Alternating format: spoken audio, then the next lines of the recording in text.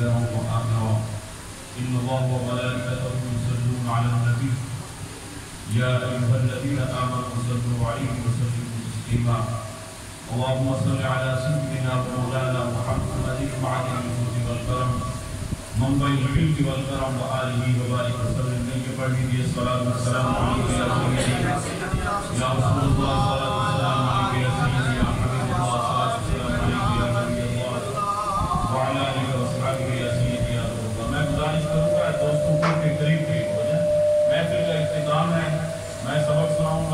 حضرت کتاب سنائیں گے انشاءاللہ، اس کے بعد دعا ہوگی۔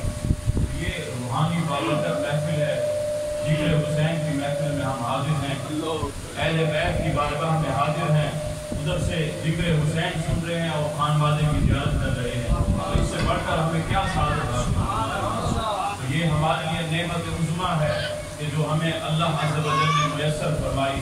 تو اس سے ضرور استفادہ حاصل کرنا چاہیے اللهم رب اشرح لي صدري ويسر لي امري واحلل عقدة من لساني يفقهوا قولي مولاي صل وسلم دائما ابدا على حبيبك خير الخلق كلهم والحبيب الذي ترجى شفاعته لكل هول من الاحوال مقتحم يا رب بالمصطفى بلغ مقاصدنا واغفر لنا ما مضى يا واسع الكرم بندہ پروردگار امت احمد نبی دوست دار چار یارم کا اولاد علی مذہب حنفی کے دار ملت حضرت خلیل خاک پائے غوث آدم زیر سایہ ہر ولی۔ صدیق عکس حسن کمال محمد فاروق ذل جاہ زلال محمد عثمان ضیاء شمع جمال محمد حیدر بہار باب خصال محمد صلی اللہ تعالی علیہ وآلہ وسلم۔ ابو بکر ہم چکابا عمر در طواف او عثمان آب زمزم علی حج اکبر۔ علی امام منسلو منم غلام علی۔ علی امام منسلو منم غلام علی۔ ہزار جان گرامی فدا بنام علی۔ لگاتا تھا مجب نارا تو خیبر توڑ دیتا تھا۔ اگر کہتا سمندر کو تو رستہ چھوڑ دیتا اگر کہتا سمندر کو تو رستہ چھوڑ دیتا تھا۔ زمین سے آسمان تک آسمان سے لا لامکان تک ہے، کہاں کھولے تھے گیسو یار نے؟ کہاں تک ہے کہاں کھولے تھے گیسو یار نے؟ اس کو کہاں تک ہے؟ وہ مطرب سے کہو کہ چھیڑے ذرا، اس جان تمنا کا قصہ۔ مطرب سے کہو کہ چھیڑے ذرا، اس جان تمنا کا قصہ۔ فرقت کے بھیانک لمحوں میں کچھ دل کو سہارا ہو جائے۔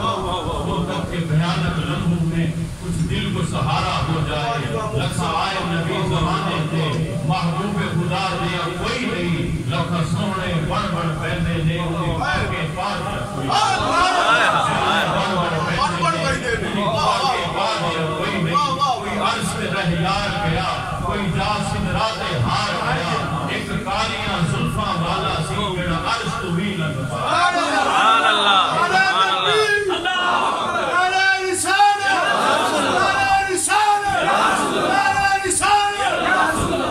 ایک کالیاں زلفاں والا سی جڑا عرش تو قرآن دے کھول سارے لکھے برک قرآن دے کھول سارے، تیری شان بیان نہیں کوئی ہور جڑا تیری شان دا کرے مقابلہ جڑا انہوں عاشقہ ازلی چور دکھا، کوئی نور آکے، کوئی بشر آکے پہلا رات دینے ایہو شور دکھا، اللہ والیا گن مکا دیتی تو سہور دکھا اچھا، اللہ والیا گن مکا دیتی تو سہور دکھا اچھا، سہور دکھا اور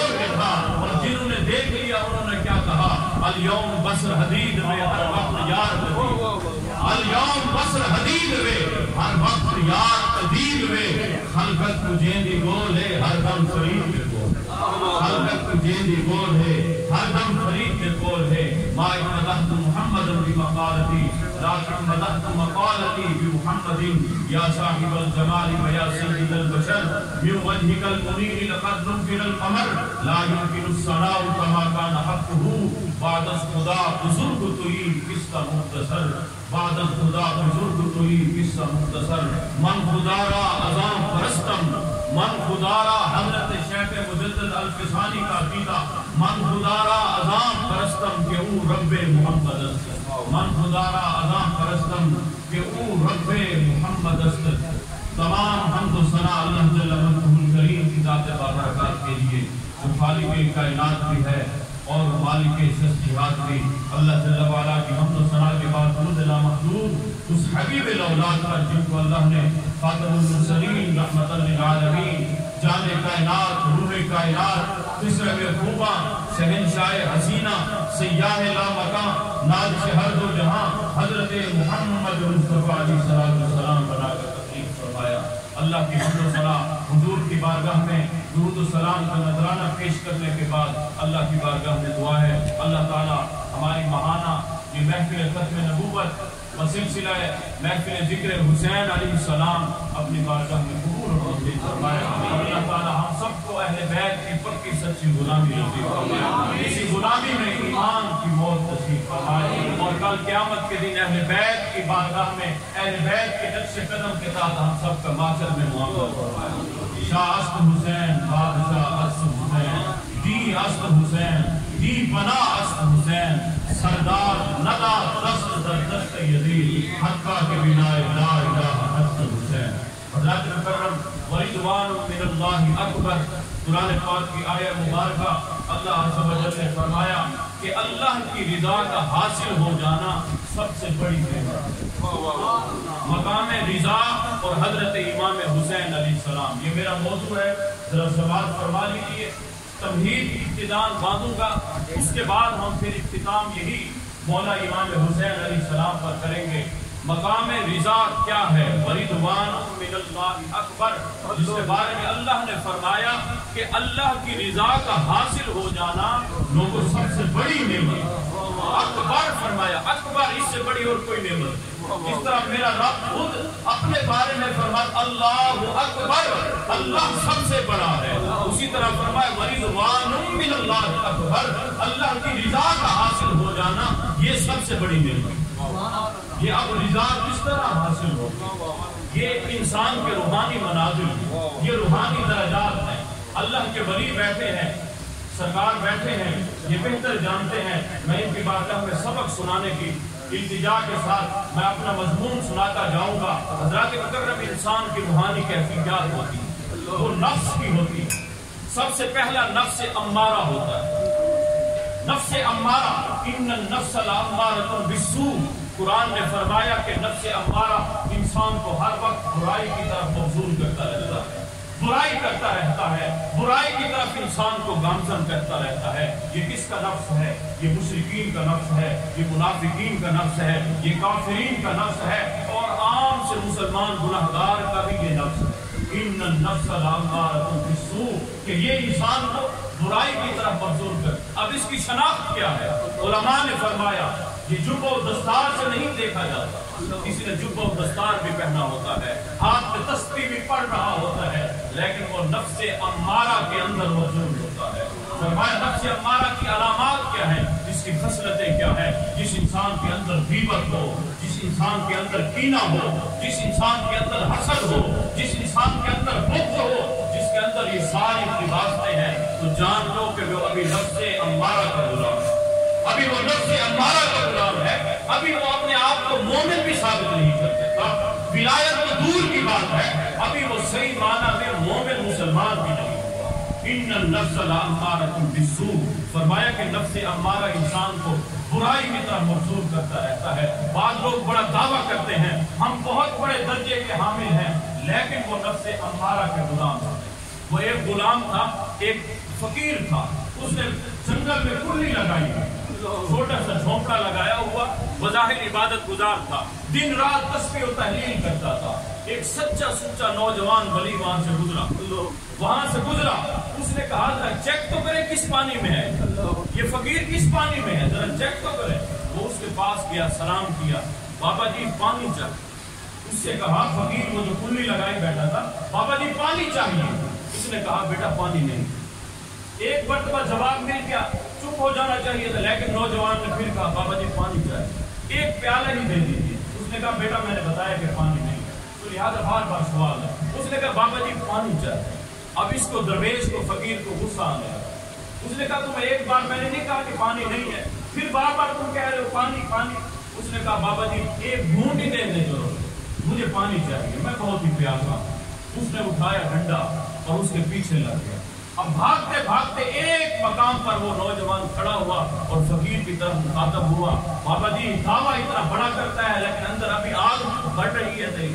ابھی اندر آگ تپش کی، وہ حسد کی، وہ بغض کی، وہ کینہ کی جگ رہی ہے۔ ابھی آگ بجھی نہیں اور ولایت کا دعویٰ کرتا ہے۔ کس پانی میں ہے؟ ان النفس لامارۃ بالسوء۔ یہ نفس امارہ ہے۔ اس کے بعد فرمایا، جب انسان وظائف کرتا ہے، جب انسان اہل اللہ کی مجلس میں بیٹھتا ہے نہ پوچھ ان پھر کا پرسوں کی۔ ارادت ہو تو دیکھ ان کو۔ یدے بیدا لیے بیٹھے ہیں اپنی آستینوں میں۔ تمنا درد دل کی ہو تو کل خدمت فقیروں کی۔ نہیں ملتا یہ گوہر بادشاہوں کے قدیروں میں۔ تو حضرات مکرم اہل اللہ کی جب مجلس انسان کو حاصل کرتا ہے، تو نفس امارہ سے وہ نکل کر، وہ نفس لبامہ تک۔ ہے یہ دوسرا نفس ہے، نفس لبامہ لا اقسم بالنفس اللبامہ اللہ نے نفس لبامہ کی بھی قسم اٹھائی۔ اب نفس لبامہ جو ہے، وہ انسان کو برائی کی طرف مبزور نہیں کرتا، بلکہ وہ برائی سے بچاتا ہے اور نیکی کی طرف اس کو لاتا ہے۔ اب انسان یہاں محنت کرتا رہتا ہے، محنت کرتا ویلی نہ رہے، کچھ کرتی رہے۔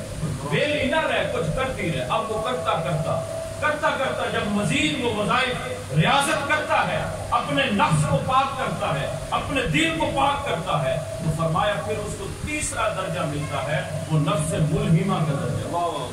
وَأَلْهَمَهَا فُجُورَهَا وَتَقْوَاهَا۔ نفس لبامہ سے، نفس لبامہ، یہ علماء و کامرین کا یہ نفس ہوتا ہے۔ اور نفس ملہمہ جب انسان کو ملتا ہے، یہ صالحین کا نفس ہوتا ہے۔ یہ صالحین، اب برائی ختم ہوگی۔ اب سراسر انسان نیکی کی طرف چلا آ رہا ہے۔ اب نیکی کی طرف مصول ہو رہا ہے۔ برائی کا خاتمہ ہو گیا، نفس پاک ہو گیا۔ اب نفس ملہمہ تک پہنچ گیا۔ اب نفس ملہمہ سے مزید جب اس نے وضاحت کی اور مزید محنت کی، اللہ عز و جل نے مزید اسے یہ درجہ عطا فرمایا۔ اب نفس ملہمہ سے چوتھا نفس نفس مطمئنہ مل گیا اب یہاں سے ولایت شروع ہو رہی ہے۔ ولایت یہاں سے شروع ہو رہی ہے۔ جب نفس مطمئنہ انسان کو ملتا ہے، یہاں اللہ اس سے مخاطب ہوتا ہے۔ یا ایتھا النفس المطمئنہ، اے نفس مطمئنہ، تو اب یہاں جو ہے ولایت کا درجہ ہے، یہاں سے ولایت شروع ہوتی ہے۔ اب نفس مطمئنہ جب انسان کو عطا ہو جاتا ہے اللہ کی ذکر اللہ تطمئن القلوب، دلوں کا اطمینان جو ہے، وہ اللہ کے ذکر میں ہے، تو یہ نفس مطمئنہ کے لوگوں کو یہ حاصل ہے فرمایا، نفس مطمئنہ سے جب انسان مزید آگے پرواز کرتا ہے، وہ اللہ والوں کا نفس ہوتا ہے۔ اس کے بعد وہ طے کرتے کرتے وہ نفس راضیہ تک پہنچ جاتا ہے۔ نفس راضیہ تک پہنچ جاتا ہے۔ نفس مطمئنہ پر بات ختم نہ ہوئی، بلکہ اس کے بعد بھی آگے منازل تھے، آگے اس کے درجات تھے۔ فرمایا آپ کو نفس راضیہ یعنی نفس راضیہ سے مراد کیا ہے؟ وہ مقام رضا کو حاصل کر لیتا ہے۔ مقام رضا کا مطلب کیا ہے؟ وہ اللہ کی رضا پر راضی رہنے لگ جاتا ہے۔ جو میرا رب چاہتا ہے، وہ اسی پر راضی رہتا ہے۔ جو میرا رب کرتا ہے، وہ اسی پر راضی رہ جاتا ہے۔ اور نفس رضا پر اللہ سلا کیا دیتا ہے؟ نفس رضا کا اللہ سلا یہ دیتا ہے کہ اس کو نفس مردیہ کا درجہ حاصل ہوتا ہے یا ایتها النفس المطمئنہ ارجعی الى ربک راضیہ نفس راضیہ مرضیہ اب نفس مرضیہ حاصل ہو۔ اب نفس مرضیہ کیا ہے؟ نفس راضیہ میں انسان طالب تھا نفس راضیہ میں انسان طالب تھا، نفس مردیہ میں انسان مغلوب ہو گیا۔ نفس راضیہ میں انسان اللہ کی یاد میں سرگردہ تھا۔ نفس مردیہ میں اللہ اب اس بندے کی یاد میں سرگردہ ہے۔ نفس راضیہ میں انسان اللہ کی رضا پر راضی تھا۔ ارے نفس مردیہ جب انسان کو ملا تو اللہ اس کی رضا پر راضی ہو گیا۔ اسی لیے فرمایا وَلَسَوْفَ يُعْتِيكَ رَبُّكَ فَتَرْضَىٰ۔ اے محبوب، جو آپ چاہو گے اتنا عطا فرمائے گا کہ آپ راضی ہو جائیں گے۔ تمام انبیاء میری رضا چاہتے ہیں۔ یا رسول اللہ، میں آپ کی رضا چاہتا ہوں۔ یہ نفس مردیہ ہے۔ یہ نفس مردیہ اللہ عز و جل نے امت محمدیہ کے اولیاء کو بھی عطا کرا یہ نفس مطمئنہ، سے نفس راضیہ، نفس مردیہ، یہ مقام کن نصیب ہو جاتا ہے۔ یہاں اب فقودی الامر کا مرہ آ جاتا ہے کہ جو کچھ کہا وہی ہو گیا، جو زبان سے نکلی وہی امر ہو گیا۔ حضرت یوسف علیہ السلام کا واقعہ سنا ہوگا۔ وہ ایک تعبیر خواب پوچھنے والے نے غلط خواب بیان کر دیا اور حضرت یوسف علیہ السلام سے تعبیر چاہیے۔ حضرت یوسف علیہ السلام نے تعبیر فرما دی۔ اس کے بعد اس نے کہا حضرت یہ تو خواب ہوا ہی نہیں۔ آپ نے فرمایا تیرا ہوا ہے کہ نہیں ہوا۔ اب میں نے کہہ دیا ہو گیا۔ فقودی الامر کن فیکون وہ ہو گیا۔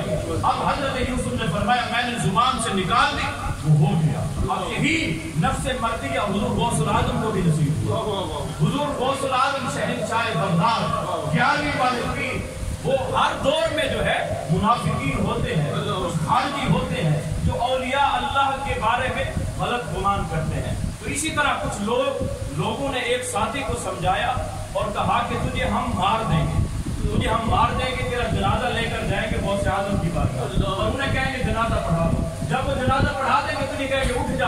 تو بہت سے آدم کی ولایت کا ڈورا پیٹیں گے ہم۔ یہ بہت سے آدم بنا پھرتا ہے اور زندہ کا اس نے جنازہ پڑھا دیا۔ انہوں نے کہا، چلو ٹھیک ہے۔ وہ تیار ہو گئے۔ اس دوست کو بھی راضی کر لیا۔ اب حضور غوث العظم کی بارگاہ میں پہنچ شہنشاہ بغداد کی بارگاہ میں۔ غوث اعظم دین من ایمان من غوث اعظم جان جانے پنجتن جب دب آخر خیال آیا، بڑے غم ساتھ ہیں۔ ان کی رحمت بھول اٹھی ہم نہ کر ہم ساتھ۔ اقربا کیوں رو رہے ہو؟ میں کوئی تنہا نہیں۔ ہوں غلام غوث اعظم غوث اعظم ساتھ۔ اب حضور غوث العظم کی بارگاہ میں آئے۔ حضور غوث العظم مسکرائے۔ فرمایا کہ جنازہ پڑھانا ہے۔ انہوں نے کہا ہاں پڑھانا ہے، فرمایا پڑھانا ہے؟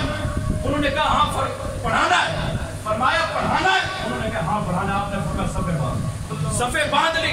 حضور غوث العظم نے جنازہ پڑھا دیا سلام پھیرا۔ انہوں نے فوراً کہا کہ اٹھ جا اٹھ جا اب کہاں سے اٹھے؟ فرمایا کہ تمہارا مرا تھا، نہیں مرا۔ میں نے جنازہ پڑھا دیا کیا مطلب نہیں ملے۔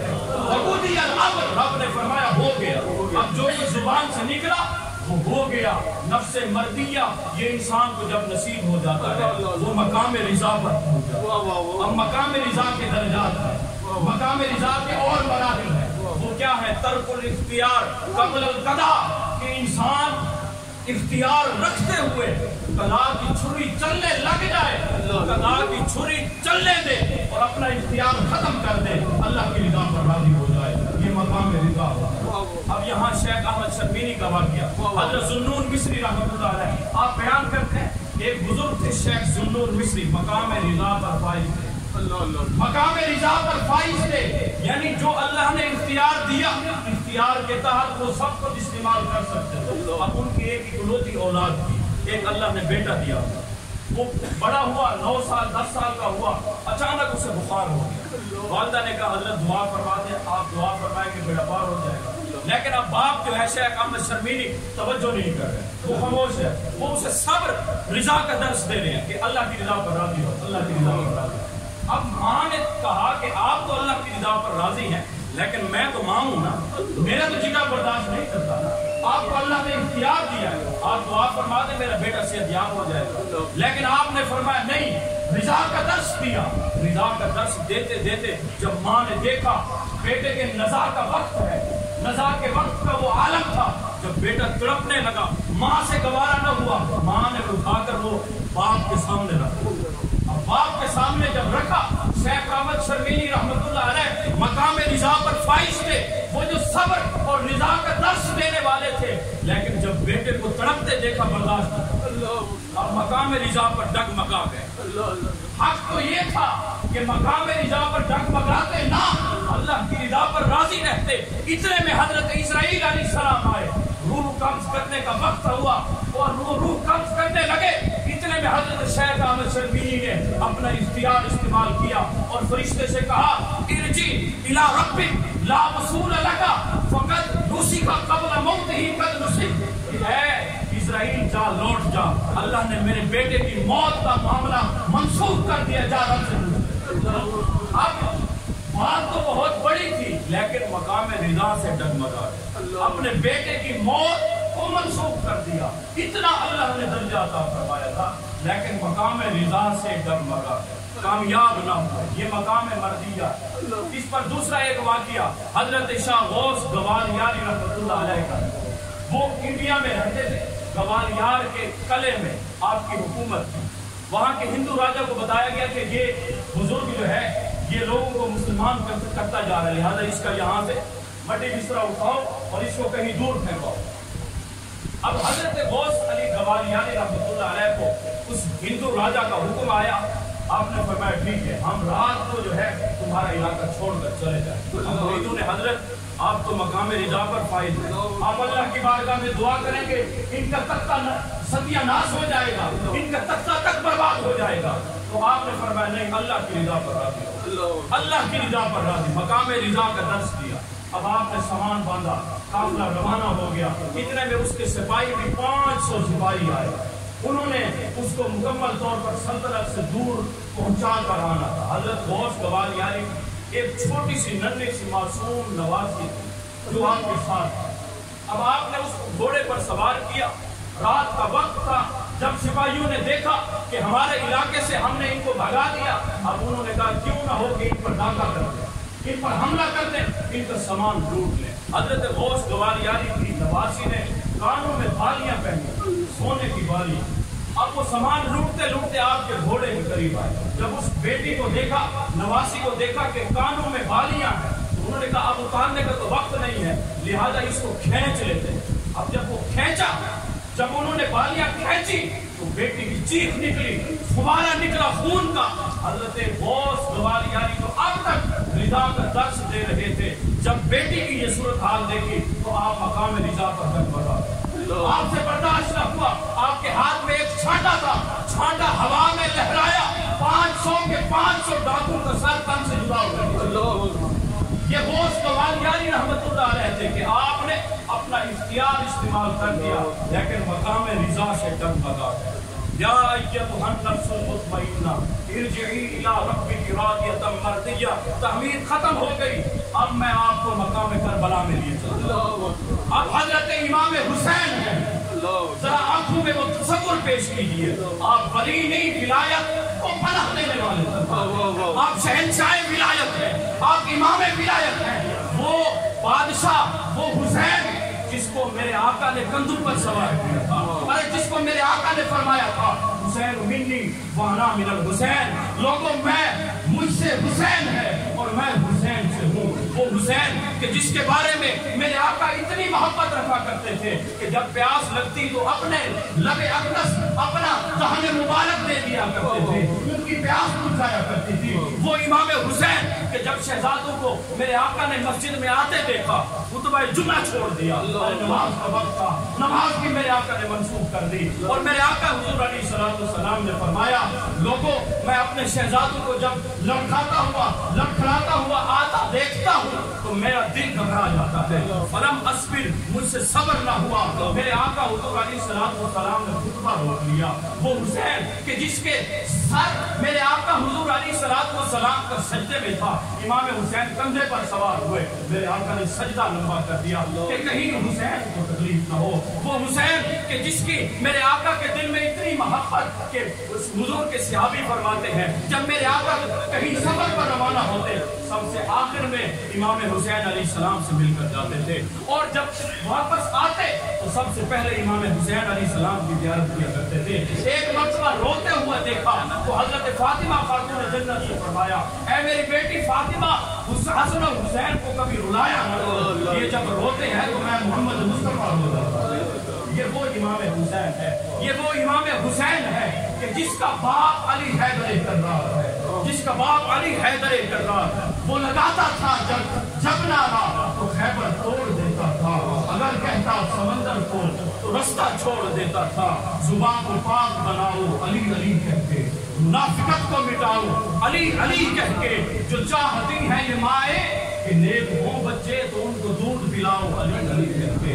علی امام منستو منم غلام علی۔ ہزار جان گرامی فدا بنام علی کتاب عشق کے اوپر یہی مضمون ہوتا ہے کہ عاشق یار کا ہر حال میں ممنون ہوتا ہے۔ علی کو ماننا ہر ایک کی قسمت میں نہیں ناصر علی کو ماننے والا حلالی کون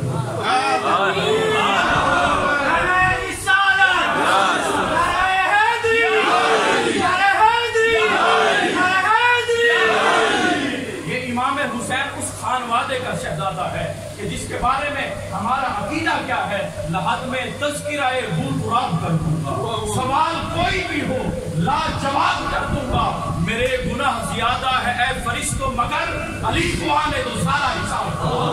علی کو آنے دو، سارا حساب۔ دوں گا فشار قبر کو یکسر نکال کر دوں گا۔ میں مسکروں کی طبیعت بحال کر دوں گا۔ علی کے نام نے جرأت وہ دی کے زیر لحد مقبول فرشتوں سے کوئی سوال کر دوں گا۔ مقبول فرشتوں سے کوئی سوال کر دوں گا۔ فولاد کا دل پتھر کا جگر سب پارا پارا ہوتا ہے۔ جب نام علی کا لیتے ہیں میدان ہمارا۔ یہ تو ہم منگتے ہیں۔ یہ ہمارا عقیدہ ہے۔ وہ خانوادہ حسین وہ خانوادہ علی حیدر کرار امام حسین کوئی عام ہستی نہیں تھے۔ ارے، یہ ان کا خانوادہ تھا، یہ ان کا لفظ جگر تھا، جن کو خاتون جنت کہا گیا۔ فرمایا، الفاطمہ تو قد تم منی۔ لوگوں، فاطمہ میرے جگر کا ٹکڑا ہے۔ جس نے اس سے محبت رکھی، اس نے مجھ سے محبت رکھی۔ وہ فاطمہ کہ جس کی عظمت کا ذرا اندازہ تو لگائیے۔ میرے آقا فرماتے ہیں صحابہ روایت کرتے ہیں، میدان محشر ہوگا۔ میدان محشر ہوگا محشر کا میدان برپا ہوگا، ہر کوئی نفسہ نفسی میں پڑا ہوگا، اتنے میں آواز آئے گی، عالم غیبی سے آواز آئے گی، لوگوں اپنے نگاہوں کو نیچا کر لو، بتو امسارکم لوگوں اپنے نگاہوں کو نیچا کر لو، کیونکہ یہاں سے سواری فاطمہ تو زہرا کی نظر رہی ادب کا مقام ہے۔ یہاں انبیاء بھی اپنے سر کو جھکائے کھڑے ہیں۔ یہاں آدم بھی جھکائے کھڑے ہیں۔ یہاں نو بھی اپنے سر کو جھکائے کھڑے ہیں۔ یہاں حضرت عیسیٰ بھی سر کو جھکائے کھڑے ہیں۔ یہاں انبیاء، یہاں اولیاء، یہاں صدیق اپنے سر کو جھکائے کھڑے ہیں۔ کیوں؟ خاتون جنت کی سواری گزر رہی ہے۔ ارے میرے بھائیوں، یہ امام حسین علیہ السلام جو مقام رضا پر فائز تھے، جن کو اللہ نے سارا اختیار عطا فرمایا تھا۔ اگر وہ چاہتے، وہ شیخ احمد شرمینی سے بھی اعلیٰ درجہ رکھتے۔ وہ اگر تلوار ہوا میں لہراتے، تو سارے یزیدیوں کے سر تن سے جدا ہو کر رہ جاتے ارے، اگر بوس کمال یاری بن جاتے، شیخ احمد شرمینی بن جاتے، تو اللہ نے اختیار عطا فرمایا تھا۔ لیکن میرے امام حسین علیہ السلام کا درجہ تو دیکھیے، آپ مقام رضا پر ڈگمگائے نہیں۔ میرے مالک کو جتنا بھی ظلم و ستم کر لے، جتنا بھی امتحان کر لے، جتنی بھی آزمائش کر لے، تیرا حسین اس آزمائش میں کامیاب ہوگا۔ ارے مقام کربلا ہے، دس محرم کا دن ہے، میرا امام اکیلا رہ گیا۔ حضرت امام کے بڑے اساتر فرماتے ہیں کہ جب علی اکبر کا لاشا میرے امام اٹھانے گئے، تو آپ عمر مبارک چھپن پر آپ کی داڑھی اور سر کے بال بالکل کالے تھے، بالکل کالے تھے، بالکل۔ لیکن جب لاشا اٹھا کر لائے، مقام رضا سے ڈگمگائے نہیں، برداشت کیا، صبر کیا، لیکن صبر کی اتنی شدت تھی کہ جب آپ وہ لاشا لے کر آئے تو آپ کے داڑھی اور سر کے بال سارے سفید ہو لیکن میرا امام کا مقام رضا سے ڈگمگایا نہیں۔ میرے مالک میں تیری رضا پر راضی ہوں۔ میرے مالک یہ حسین حسین بن کر دکھائے گا۔ میرے مالک غریب و سادہ و رنگین ہے داستان حرم۔ نہایت اس کی حسین اور ابتدا اسماعیل۔ ارے، مقام کربلا کا جب عالم تھا رومانی طور پر میرے آقا بھی جلوہ تھے میرے آقا حضور علی صلاۃ سلام کی شہزادی بھی جلوہ تھی میرے آقا حضور علی صلاۃ سلام کے خانوادہ حضرت علی المرتضی بھی جلوہ تھے میرے آقا فرما رہے تھے، اے میرے حسین اے میرے نواز سے تجھے میں نے کندھوں پر سواری کروائی اے میرے حسین اس مقام سے ڈگمگانا نہیں۔ اس مقام سے ڈگمگانا نہیں۔ حضرت علی جو مرتضی بھی فرما رہے ہیں میرے حسین میں نے تجھے اپنا خون پلایا ہے۔ اس خون کی لاج رکھنا۔ حضرت امام حسن فرما رہے ہیں میرے بھائی میں نے تجھے اپنے انگلی سے پکڑ کر کھلایا ہے۔ اس ہاتھوں کی لاج رکھنا آج جزیدیوں کے سامنے جھوٹ نہ جانا حضرت فاطمہ زہرا بھی فرما رہی ہے میرے لگتے جگر میں نے تجھے اپنا دودھ پلایا ہے۔ اس دودھ کی لاج رکھنا میرا حسین سب کو جواب دے رہا ہے۔ نانا جان اما جان ابا جان بھائی جان آج تمہارا حسین مقام رضا سے ڈگمگائے گا۔ آج اپنی وہ مکمل استقلال اور استحکام اور صبر استقامت کا وہ مظاہرہ دکھائے گا کہ قیامت تک کوئی مثال نہیں رہے گی۔ اب میرے حسین نے سر سجدے میں رکھ دیا۔ یزیدیوں کا لشکر تھا۔ آپ تب تک ان کا ستیہ ناز کرتے گئے۔ جہاں سے بھی تلوار آتی، ان کا کلا کما کر دیا۔ لیکن اچانک نماز کا وقت ہوا۔ حضرت امام حسین نے سر سجدے میں رکھا۔ دعا کیا کہ اللہم رضل بھی قضائی کا وصبرن علی بلائی کا وقستن لی عملی کا مالک، میں کتنے ظلم و ستم آئے؟ میں حسین کے بگایا نہیں، میں لڑکڑایا نہیں، مالک میں تیری رضا پر راضی ہوں، بہتر تن قربان کر کے راضی ہوں، اپنا سر کٹوا کر کے راضی ہوں۔ مالک، تو بھی تو بتا، تو بھی راضی ہے یا تو آواز آ رہی تھی، اس پیاسے پر علی شیر خدا کو ناز ہے۔ اس نواسے پر محمد مصطفیٰ کو ناز ہے۔ اس پیاسے پر علی شیر خدا کو ناز ہے۔ اس نواسے پر محمد مصطفیٰ کو ناز ہے۔ سجدہ اوروں نے بھی کیا، پر اس کا عجب انداز ہے۔ اور اس نے وہ سجدہ کیا جس پر خدا کو ناز ہے۔ اس نے وہ سجدہ کیا جس پر خدا کو ناز ہے۔ اے حسین ابن علی، تم پر سلام۔ او سلام کرے اے حسین ابن علی۔ تم پر سلام۔ اے حسین ابن علی، تم پر سلام۔ ناجس آل نبی، تم پر سلام۔ تم پہ لاکھوں رحمت، لاکھوں سلام۔ اے شہیدان محبت کے امام۔ لالا گون لالا کفن، لالا بدن، لالا چمن۔ اے چمن اندر چمن اندر چمن۔ زندگی کی زندگی تیری حیات۔ اے حیات اندر حیات اندر حیات۔ افتخار ملت بیضا ہے تو رب کعبہ کی قسم یکتا ہے تو فخر کا دل میں دریچہ باز کرنا چاہیے۔ جن کا تم آقا ہے ان کو ناز کرنا چاہیے۔ ارے آج ہم آپ حسین والے نہیں ہم با حسین والے۔ با حسین کی عظمت کو سلام آج اتنی آزمائشیں آئیں آج لفتے جگر کا جنازہ اٹھانا پڑے۔ تو باپ جو ہے وہ برداشت چھوڑ جاتا ہے، لیکن حسین کی عظمت کو سلام۔ فخر کا دل میں دریچہ باز کرنا چاہیے، جن کا تو آقا ہے، ان کو ناز کرنا چاہیے۔ آسمان سے نگاہ آ رہی ہے۔ یا ایت حمدم سے مطمئنہ ارجی الى رب گرادیتم مرضیہ فدخلی فی عبادی، وادخلی جنتی۔ اے نفس مطمئنہ لوٹا اپنے رب کی طرف۔ رب تجھ سے راضی ہو گیا، تو رب سے راضی ہو جا۔ فدخلی فی عبادی، وادخلی جنتی۔ آج جنت میں داخل ہو جا۔ افضل ہے کل جہاں میں گھرانا حسین کا۔ نبیوں کا تاجدار ہے نانا حسین کا۔ ایک پل کی تھی بس حکومت یزید کی۔ ارے صدیاں حسین کی ہے، زمانہ حسین کا۔ اللہ تعالیٰ امام حسین علیہ السلام کی بارگاہ میں ہماری عقیدت اپنی بارگاہ میں قبول اور منظور فرمائے۔ اہل بیت کی بارگاہ میں ہمیشہ ہمیں حاضر و ناظر رکھے اللہ تعالیٰ اسی پر ایمان کی بہت نصیب فرمائے۔ واقعہ دعوانا ہے